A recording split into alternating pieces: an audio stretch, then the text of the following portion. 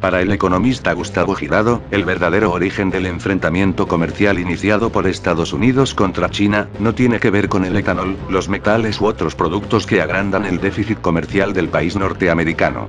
A su criterio, el fondo de la cuestión recae en la carrera por la creación de nuevas tecnologías. Nuevos aranceles y gravámenes a los productos extranjeros. Esta ha sido la idea más repetida por el presidente estadounidense, Donald Trump, para enfrentar el profundo déficit comercial y la importante pérdida de peso relativo, en términos de aporte estadounidense a la economía mundial.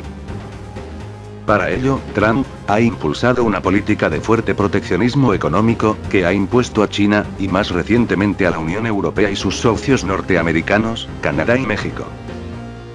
A pesar de la severidad de sus acciones, los resultados no solo no llegan, sino que China es una potencia cada vez más fuerte, y el déficit comercial estadounidense es cada vez más grande.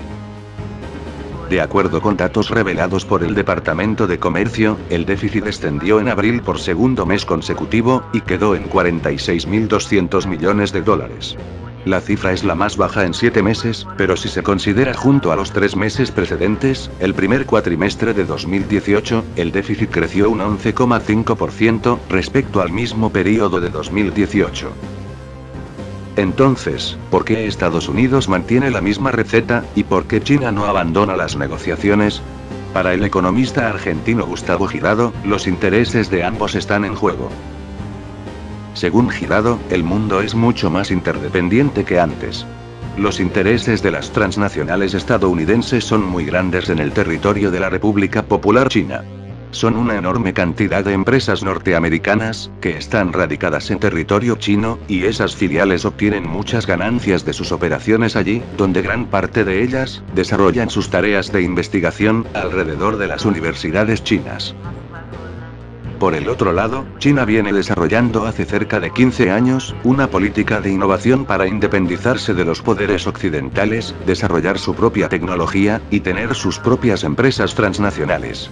Compañías, que, como las estadounidenses, están insertas en cadenas globales de valor, y producen en diferentes lugares del mundo, y especialmente en Asia.